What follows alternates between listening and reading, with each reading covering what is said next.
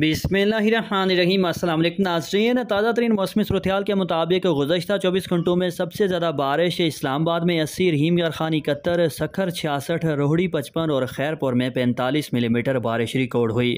ناظرین، بارشیں ابھی ختم نہیں ہوئیں۔ محکمہ موسمیات کے مطابق آنے والے مزید اڑتالیس سے بہتر گھنٹوں کے دوران، آج رات سے اتوار چار اگست سے لے کر پانچ اور چھ اگست کے دوران موجودہ سلسلے کے زیر اثر، کراچی سمیت صبح سندھ اور بلوچستان کے بیشتر علاقوں میں مزید طوفانی بارشوں کا امکان۔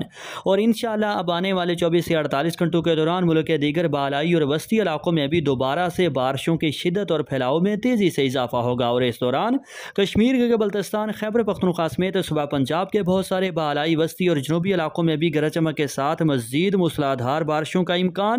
ناظرین، نوٹ فرما لیں، موجودہ سلسلے کے ذریعے اثر آنے والے چوبیس سے اڑتالیس گھنٹوں کے دوران ایک مرتبہ پھر سے کراچی تا خیبر کشمیر، ملک بھر میں دور دور تک بارشیں دیکھنے دیکھنے کو ملیں گی۔ جبکہ اس دوران بعض علاقوں میں سو سے دو سو ملی میٹر تک بھی شدید بارشوں کے باعث لینڈ سلائیڈنگ اور سیلابی صورتحال کا خطرہ ہوگا۔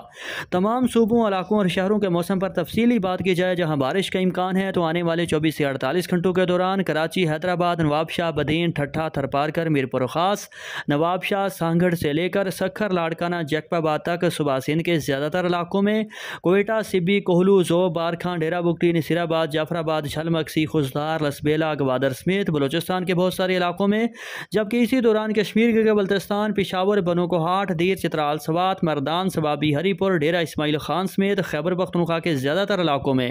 اور رحیم یار خان، بہاول پور، ملتان ڈیجی خان، لیا، بھکر، ساہیوال، فیصل آباد، سرگودا، میاں والی، لاہور، مری راولپنڈی اسلام آباد، خطہ پٹھوار، اٹک، جیلم، چکوال، ناروال، سیالکوٹ گجران والا گجرات، منڈی بھاؤدین حفظ آباد سمیت صبح پنجاب کے زیادہ تر علاقوں میں بھی۔